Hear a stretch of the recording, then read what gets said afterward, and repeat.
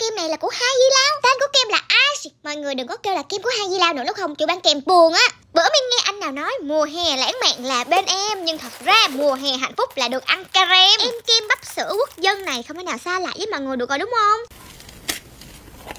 thì với bên ngoài vỏ bánh xốp mềm, còn bên trong á hả là hương kem đậm vị ốc sữa. Mà chưa nói khi ăn nó rất là béo. Bạn nào đang trong quá trình giảm cân thì cân nhắc trước khi ăn nha. Tiếp theo đây là em sô cô la giòn nghe cái âm thanh thôi là biết uy tín rồi lại bảo không giòn đi. Với bốn lớp thì lớp bên ngoài là sô cô la cũng gẹt giòn. Lớp tiếp theo là kem sữa, còn lớp thứ ba là sô cô la cứng. Và lớp cuối cùng đó chính là kem vani. Với nhiều màu sắc như thế này thì đây là kem trái cây lớp xoáy.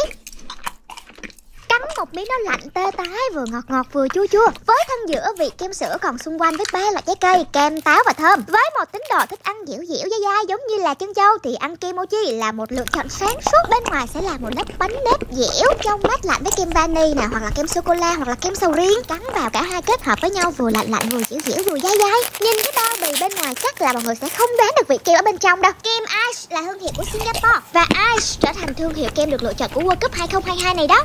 Mùa hè ơi, bất được như thế này, được ăn cây kem đá vị dưa hấu mát, lạnh thêm những viên sô cô la giòn giòn nữa, thật là xuất sắc.